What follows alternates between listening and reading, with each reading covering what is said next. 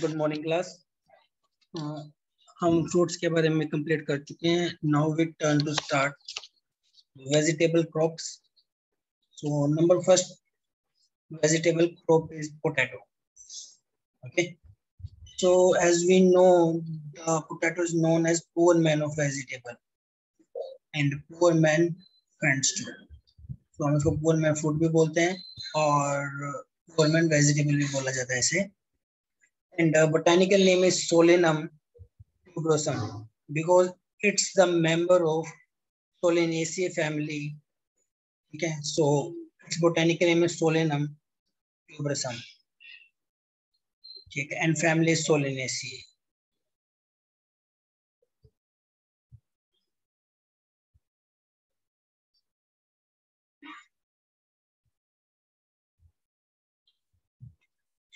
Next origin is Peru, that is in South America and tropical America.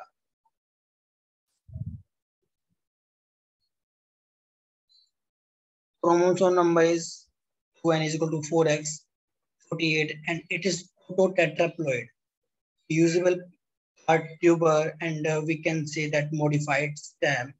And the inflorescence type is cymose, and the fruit type is berry, and the protein is 2.5% and the fat is 1.14%. As we know, the carbohydrate is 22.6% and the fiber is 2.2%. Vitamin C is 17 mg per 100 gram. And potassium is 468 mg. Okay, so let's move to introduction of potato. So potato is native to South America. South America का native उससे पहले वहीं से इसको introduce किया गया और seventeen century में इंट्रोड्यूस किया गया था फ्रॉम पोर्टुगीज ठीक है? एंड द पॉपुलरली इसको नॉन बोला जाता है the king of vegetables because a fourth most important food group है। After rice wheat and maize सबसे पहले rice then wheat then maize and then potato India की बात करें तो थर्ड लार्जेस्ट प्रोड्यूसर है पोटैटो का आफ्टर चाइना सबसे पहला चाइना है। यूपी क्या है? लीडिंग स्टेट है पोटैटो की प्रोडक्शन के अंदर।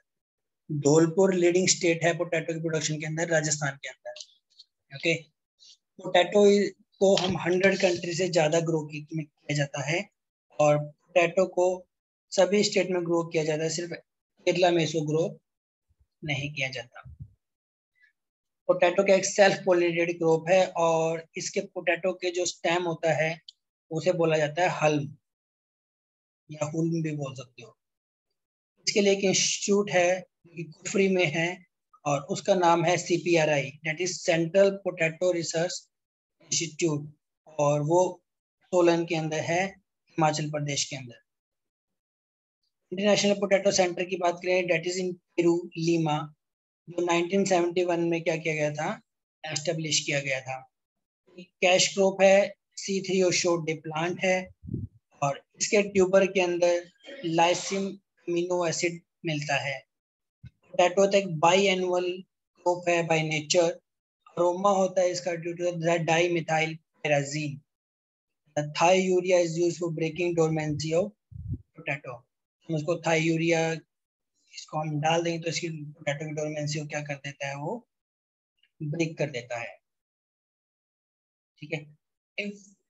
Tuber to sunlight when tuber turn to green color due to the solanine synthesis. Solanine synthesis से टर्न होता है ग्रीन कलर से। तो इसके अंदर 5 mg 100 mg सोलिनिन होता है। और if it is greater than 20 mg तो अनफिट हो जाता है कंजप्शन के लिए ये। क्लियर है? देन क्लाइमेट की बात करें कूल सीज़न क्रॉप है ये। और इसे हम समर क्रॉप सीज़न क्रॉप भी ग्रो करते हैं as in northern hill because temperature is equal to the same same temperature होता है अकॉर्डिंग टू अगर हिल्स के अकॉर्डिंग देखा जाए on the plain about twenty degree जो टेम्परेचर होता है गुड रहता है ट्यूबर की फॉर्मेशन के लिए से इसको सर्दियों में ग्रो किया जाता है। ट्यूबर पे बैड इफ़ेक्ट आता है अगर टेम्परेचर तीस से ऊपर चल जाता है और लॉन्ग डे कंडीशन में और कूलर नाइट में रिड्यूस हो जाती है इसमें डिज़ीज़ को फैलना। अगर कूल डेज़ होंगे कूल नाइट्स होंगी तो उसके अंदर डिज़ीज़ नहीं फैलती है। ठीक है? अब डिज़ीज़ क्यों नहीं फैलती है? बिकॉज़ जो आ, एक फेवरेबल टेम्परेचर होता है किसी भी डिज़ीज़ को ग्रो करने के लिए। ठीक है? नेक्स्ट अगर सोइल की बात करें तो सोइल इसके अंदर वाइड रेंज सोइल चाहिए। Sandy loam silt loam loam और clay soil well drain sandy soil और मीडियम लोम सोइल इसके लिए बेस्ट सुटेबल रहती है पोटैटो कल्टीवेशन के लिए। लाइट सोल को प्रेफर किया जाता है बिकॉज़ ये प्रमोट करता है यूनिफॉर्म सोइल टेम्परेचर को। हार्वेस्टिंग को क्या कर देता है? इजियर कर देता है। एल्कलाइन और सेलाइन सोइल सुटेबल नहीं होती है पोटैटो कल्टीवेशन के लिए। और एसिडिक सोइल के लिए वेल सुटेड रहता है। पीएच इसके लिए five to six point five होना चाहिए। और अगर एसिडिक कंडीशन है तो वहाँ पे स्कैब डिज़ीज़ आ जाती है पोटैटो के अंदर। सो so, वैरायटीज की बात करते हैं तो वैरायटीज के अंदर रेजिस्टेंस की बात करें अर्ली मेच्योरिटी वैरायटी रेडी रहती है हार्वेस्टिंग के लिए 75 to 100 days after planting variety है कुफरी चंद्रमुखी सो so वो क्रॉस है between the S four four eight four eight five and Kufri Kuber कि 1967 में रिलीज़ की गई थी। ये अर्ली ब्लाइट और लेट ब्लाइट के लिए क्या है? रेजिस्टेंस है। एक वैरायटी होती है कुफरी अशोका, जो E M hash C one zero two zero तो हुआ था उसका एल क्यू से गैलबे के साथ। कुफरी अलंकार क्रॉस है बी और O N two zero nine zero का। और मैजेस्टिक और इक्कीजास्पा का रिलीज़ हुआ था 1960 में। ठीक है? कुफरी कुबेर, जो कुफरी कुबेर है, वो ब्लैक स्क्रब के लिए रेजिस्टेंस है। मीडियम मेच्योरिटी के लिए बात करें तो hundred to one zero five day maturity होती है। लाइक कुफरी बादशाह, कुफरी पुखराज, कुफरी ज्योति, कुफरी कुंदन, ठीक है? उसके अलावा सुलतेज, गिरिराज, स्वर्णा, लालिमा, बहार, लाल आलू होता है ना, वो लालिमा का होता है, ठीक है? और 1982 में इसको क्या किया गया था? रिलीज़ किया गया था। एक होता है कुफरी गिरिराज, ये शिमला में सीपीआर द्वारा रिलीज़ किया गया था 1998 में। कुफरी पुखराज इम्पोर्टेंट है, कुफरी चमत्कार इम्पोर्टेंट है, देवा, जीवन और मेगा। वो ये अच्छे से याद कर लेने हैं, ठीक है? लेट मेच्योरिटी कौन सी है अर्ली मेच्योरिटी कौन सी है और मीडियम मेच्योरिटी कौन सी है?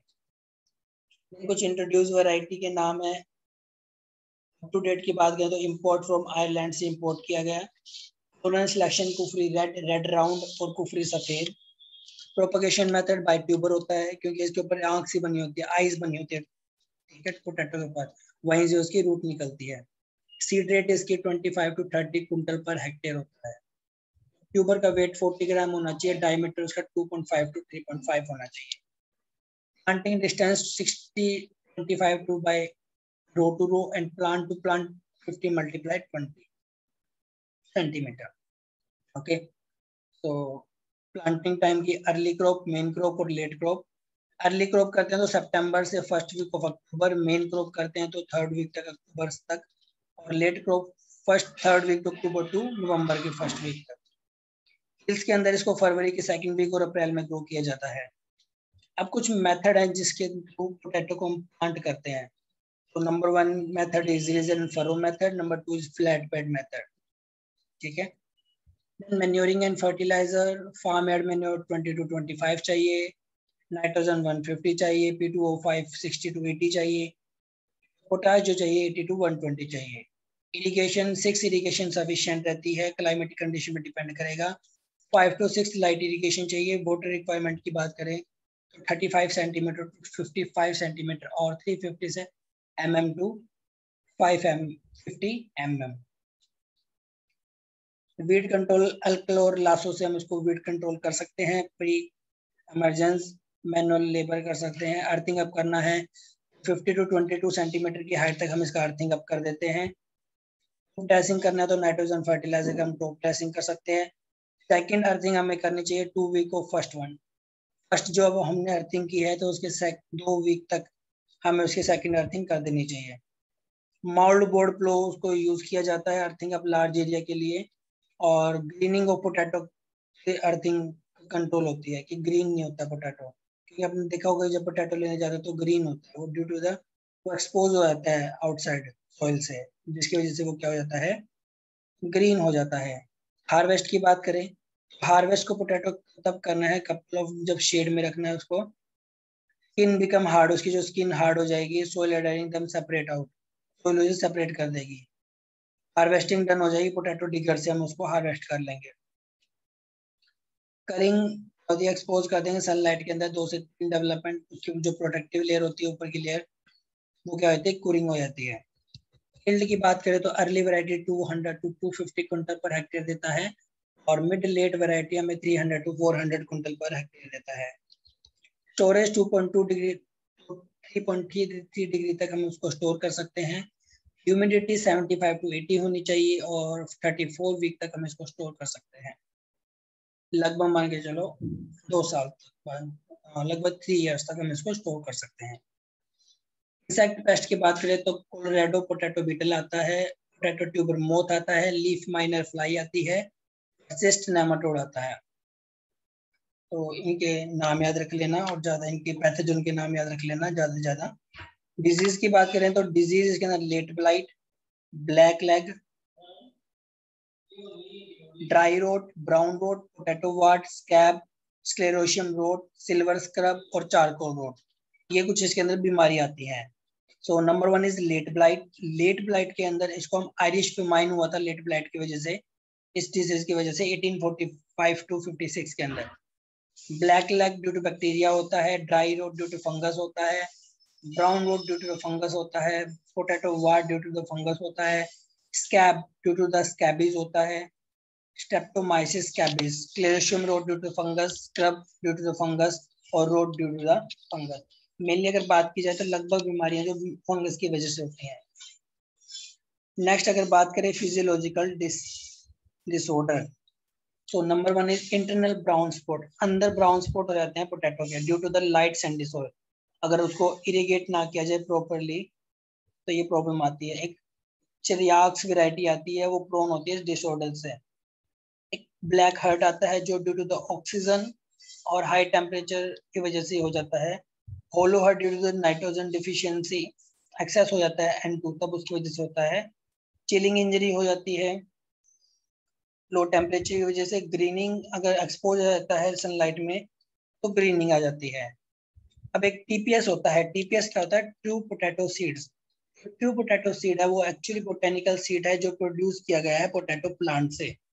इस टेक्निक को डेवलप किया था डॉक्टर एस रामान ने और जो डायरेक्टर थे सीपीआरआई के, और उन्होंने 100 to 1 gram 120 gram TPS is enough to raise seedling crop of commercial crop commercial crop के लिए 100 टू 120 ग्राम सीड होता है, वो इनफ होता है।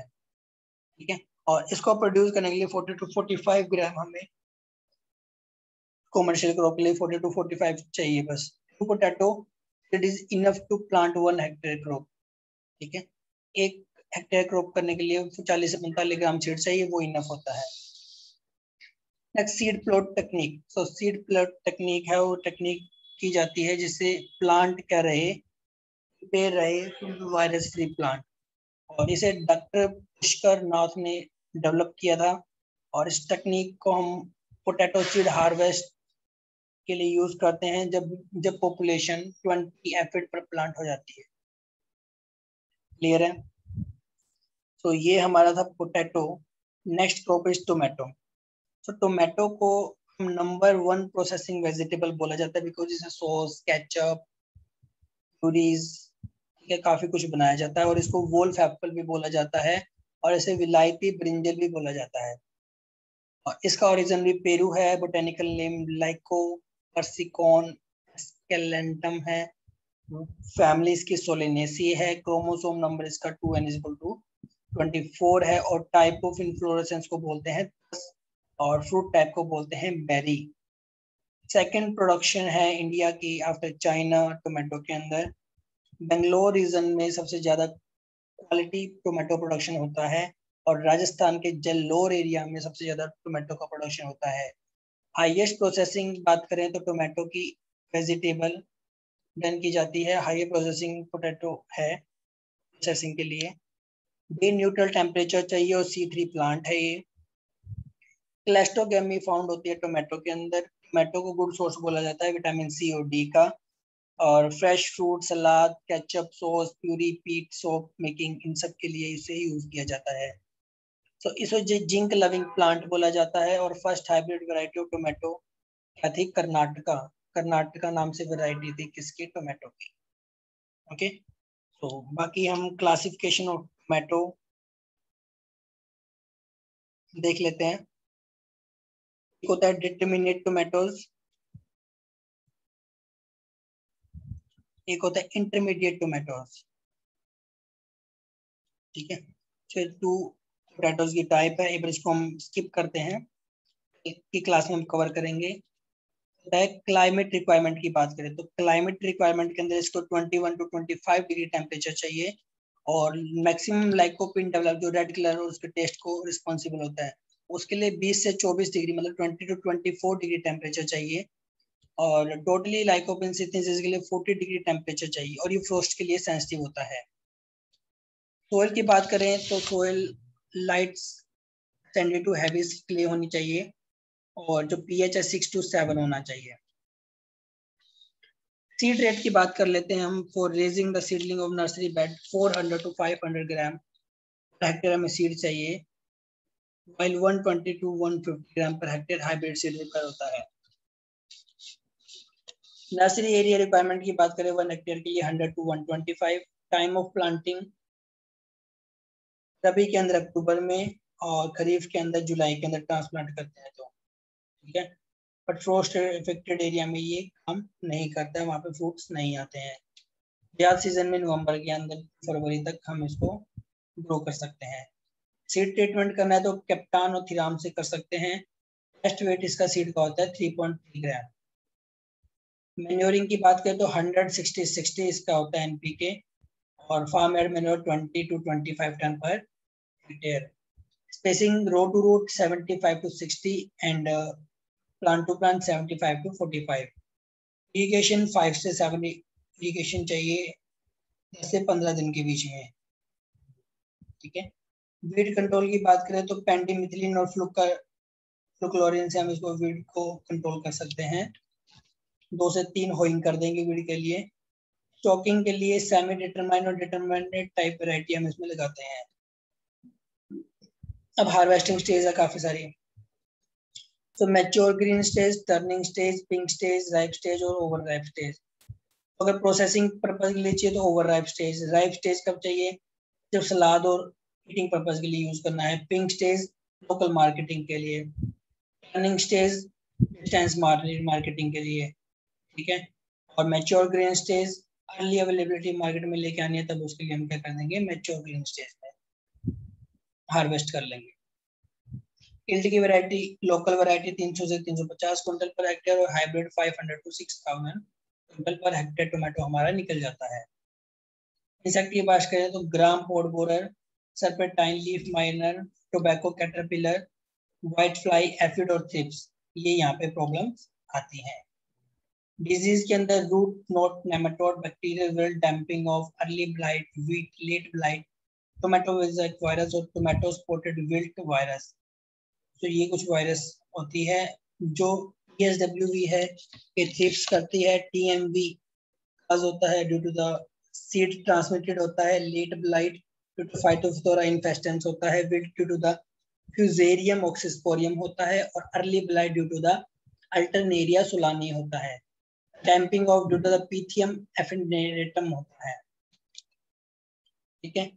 Next is leaf curl virus fern leaf virus और big bud disease of tomato तो ये तो कोज करता है लीफ ओपर और mycoplasma fern leaf virus due to the aphid and leaf curl virus due to the white fly